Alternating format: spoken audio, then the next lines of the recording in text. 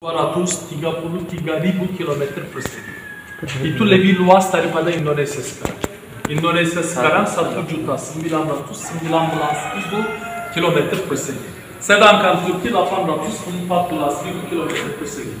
Tapi Sultan Muhammed El Fatih jadi Sultan Kerajaan Utsmani 700 ribu kilometer eh, terbang ke Turki.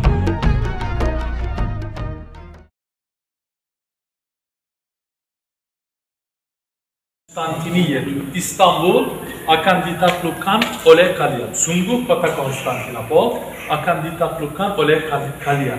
Telenimel emiru emiruha. Nimel emir berarti e, emir berarti pemimpin atau penakluk adalah sebaik-baik penakluk. Ini kata Rasulullah, bukan saya bilang.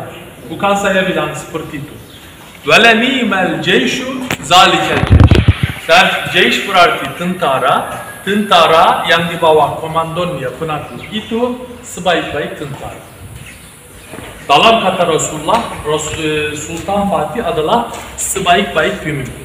Karena dia sebaik-baik pemimpin, setelah penaklukan Istanbul, dia menghadap Eropa. Karena dia mau azan terdengar di sana juga. Karena dia mau orang Eropa, orang Kristen, orang yang pernah eh, tidak pernah dengar Islam, azan, Quran, yang belum tahu pengetahuan tentang Islam atau mereka belum tahu pengetahuan sebenar tentang Islam, mereka juga dapat pengetahuan Islam lagi. Dia menghadap Eropa. Dia menaklukkan banyak kota, banyak negara sampai ke Bosnia. Lalu terakhirnya dia, dia menaklukkan Bosnia. Pada hari yang sama 50 ribu orang Bosnia masuk Islam. Contoh 8 negara saya sudah bilang. Eh, mana kalau masuk Bulgaria ada banyak Muslim. Kalau Yunani ada banyak Muslim. Serbia ada banyak Muslim. Bosnia, pergi Bosnia, Bosnia penuh masjid. Eh, Kenapa ada banyak Muslim di sana? Kapan mereka jadi Muslim? Setelah penaklukan Bosnia oleh Sultan Muhammad Mahal Fatih. Ya, tolong jangan Sultan Mehmet. Sebelum Sultan Fatih Bosnia semuanya Kristen. Sebelum Sultan pada tahun 1460 ya setelah Konstantinopol e, contohnya e, pada hari yang sama banyak orang masuk Islam atau Macedonia, Kosovo ada banyak Muslim. Kenapa mereka sayangi orang Utsmani? Karena mereka bersyukur. Ka- Kalau Sultan Fatih tidak pergi ke sana, mungkin mereka atau nenek moyang mereka meninggal sebagai kafir atau Kristen lagi dan masuk ke neraka lagi. Tapi Sultan Fatih pergi ke sana karena dia mau semua orang di sana juga mendengar azan, dapat pengetahuan sebenar tentang Islam dan mereka juga masuk Islam. Tapi setelah e, wafatnya Sultan Fatih, Sultan Fatih wafat pada umur 49 tahun. Lalu anak dia namanya Bayezid kedua. Bayezid kedua ya. Ya, ini bukan Bayezid pertama. Bayezid pertama adalah sultan yang membangun e, Masjid Agung yang di kota Bursa. Ingat satu masjid ada di sana yang membangun ke sana tapi meninggalnya di sini. no, itu Bayezid pertama. Oh Bayezid pertama. Bayezid pertama e, dia wafat pada tahun 1403. Ini Bayezid setelah ayah ayah dia wafat, ayah siapa? Sultan Muhammed El Fatih wafat pada tanggal 3 Mei 1481. Dari apa? Dari e, dari e, mungkin dia diracun oleh dokter dia ada dua pikiran tentang ini. Yang pertama itu dia diracun oleh dokter dia. Dokter dia seorang namanya Yakup Afandi, tapi kebanyakan penulis e, berpikir dia seorang serigala berbulu domba, berarti munafik. Dulu seorang Yahudi jadi mualaf Mu- Islam, lalu dia memasak makanan atau dia memang e, mengontrol badan Sultan Muhammed El Fatih. Pada hari Sultan Muhammed El Fatih berangkat dari Istanbul, yang paling kemungkinan untuk menaklukkan Vatikan, Italia, dia meracun makanan Sultan Muhammed El Fatih. Kenapa Sultan Fatih wafat masih muda? Karena dokter dia, seorang serigala berbulu domba. Pikiran kedua tentang wafatnya Sultan Fatih adalah dia, dia punya satu penyakit, sudah lama sekali dia punya penyakit itu, itu apa? Encok. Dia ada penyakit encok. Kaki dia punya banyak masalah, lalu Sultan Fatih wafat dari penyakit encok. Ada dua pikiran tentang itu. Sultan Fatih wafat, lalu anak dia namanya Bayezid kedua lahirlah. Dan pada waktu itu, walaupun Istanbul sudah ditaklukkan, walaupun Istanbul berfungsi sebagai ibu kota kerajaan Osmani, Edirne juga penting sekali karena untuk pen, eh, penaklukan negara-negara yang yang baru di Eropa, oke, atau kota-kota yang baru di Eropa sampai ke Vienna, Austria, mereka pergi, mereka berangkat dari Istanbul, ini salah satu kota di antara Eropa dan Istanbul.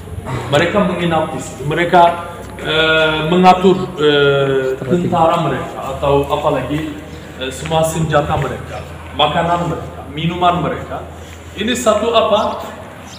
lokasi mereka atur semuanya sebelum peperangan lagi dan waktu anak Sultan Fatih namanya uh, Bayezid kedua atau dikenali sebagai Bayezid Wali, oke? Dia punya makam dekat Gram Bazar. Dekat pintu nomor 7 Gram Bazar, dia memerin- memerintah kerajaan Utsmani dari tahun 1481 hingga 1512. Dan pada waktu itu dia membangun satu kuliah di sini. Bapak Ibu, masjid dalam bahasa Turki itu cami. Masjid dalam bahasa Turki itu nanti kita akan lihat masjid juga. Itu dipanggil cami.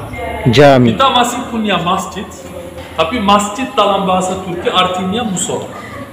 Kalau sholat Jumat ini yaitu Istanbul akan ditaklukkan oleh kalian. Sungguh kota Konstantinopol akan ditaklukkan oleh kal- kalian.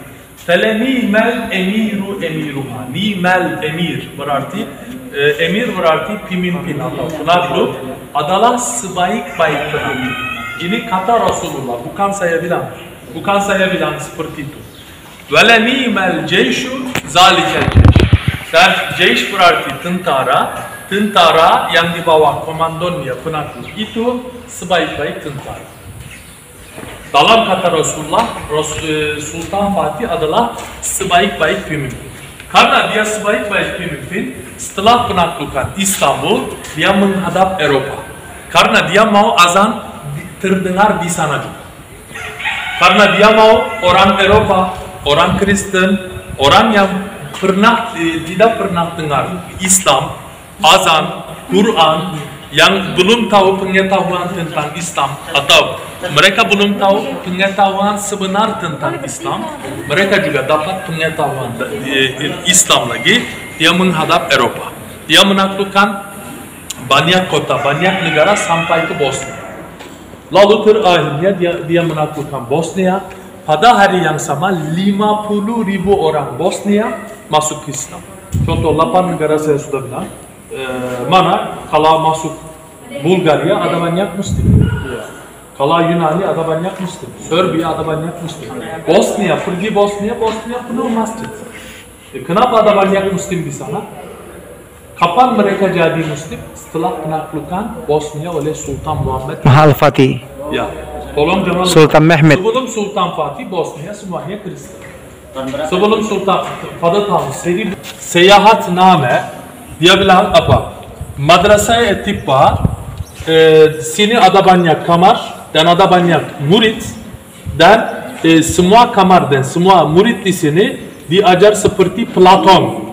Di sini anda lihat Eflatun, Plato, Sokrat, Filbos, Aristotle, Galen, e, Pitagoras. Anda lihat ya seperti itu.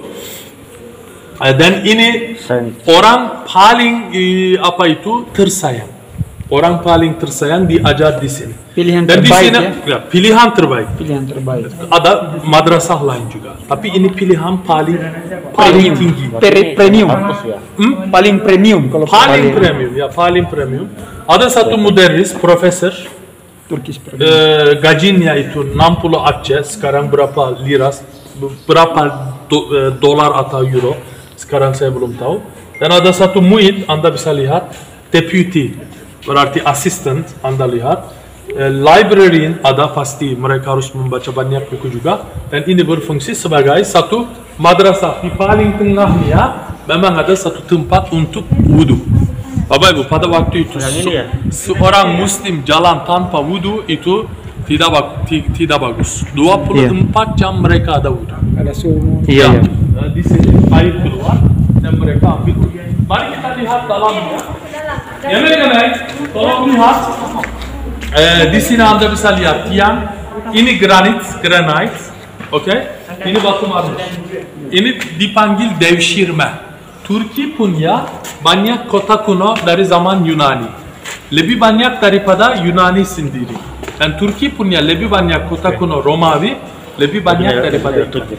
Karena nenek moyang orang Yunani dan Itali hidup Berasal di dari sini? Ya, berasal dari sini. Oh iya iya. Sebelum kedatangan nenek moyang saya, nanti saya akan menjelaskan orang Turki asalnya dari mana. Nenek moyang saya datang ke sini kapan dan asalnya datang dari mana contohnya. Sebelum kedatangan nenek moyang saya ke sini, Turki adalah pusat agama Kristen. Turki adalah pusat orang Romawi karena Turki punya kota kuno Romawi lebih banyak daripada Itali sendiri. Kalau Itali 50, Turki ada 500. Orang Itali pun datang ke Turki untuk berkunjung kota kuno Romawi dari dari nenek moyang mereka atau sama untuk orang Yunani. Yunani adalah satu negara kecil. Turki jauh lebih besar daripada Yunani. Nenek moyang orang Yunani hidup di sini. Dan inilah kenapa Turki punya lebih banyak kota kuno Yunani lebih banyak daripada Yunani sendiri. Lebih banyak Dan, kota kuno eh, waktu mereka membangun satu madrasah seperti ini daripada memotong atau memahat eh, tiang baru untuk madrasah ini mereka pergi salah satu kota kuno karena kota kuno itu sudah runtuh karena mungkin apa? Gempa bumi. Contohnya Banjir. di bawahnya ada serpihan.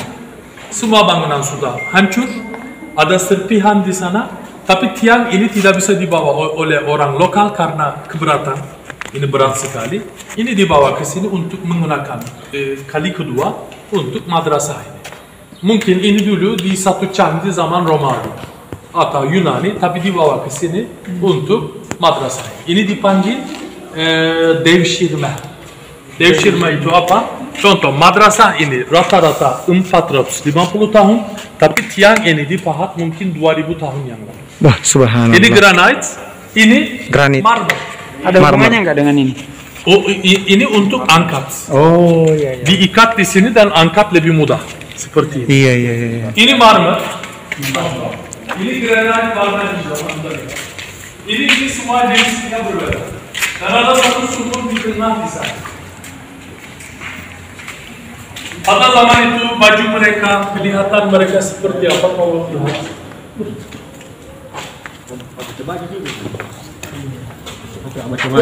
Tidak mirip di, di Kubang ini kan? Kan udah serius kayaknya. Ah iya.